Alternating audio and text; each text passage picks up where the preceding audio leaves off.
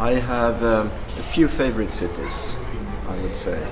Well, the inspirational thing about Tokyo is that it is, in all respects, Western standard. In fact, higher standard uh, of, uh, of uh, infrastructure and standard of living than in uh, most parts of the West.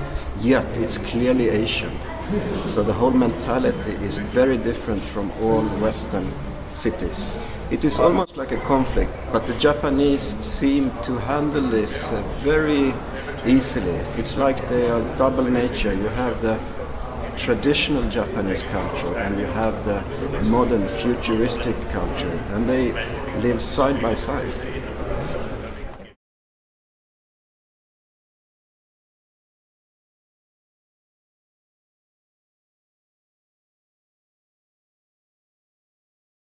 No, I, I, I, I, I see it like this. I am a Scandinavian. I work from Scandinavia.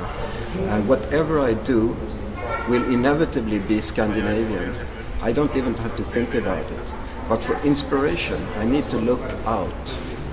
I cannot just look uh, to where I am uh, geographically.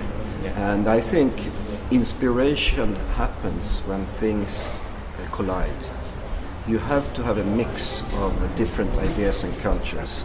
So that's why the city in the first place is an, a, a creative place. And especially if you take yourself out of your usual environment and put yourself in a different part of the world, it, it's an eye opener.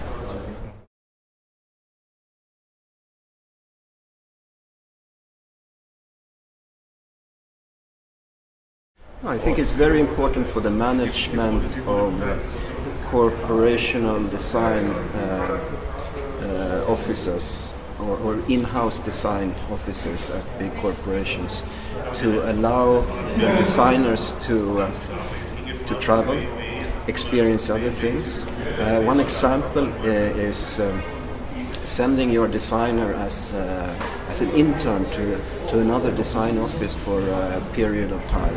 Uh, I've been involved in that. We have received uh, Asian designers from big corporations in our office in Stockholm. Uh, it's more or less like a practice for them, just to experience another method of making design. And uh, they've come back and we received uh, feedback from them that they've never been so inspired in their whole life.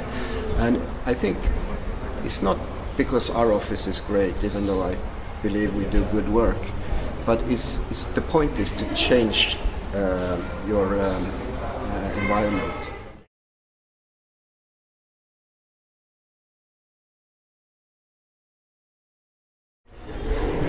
Say again, please.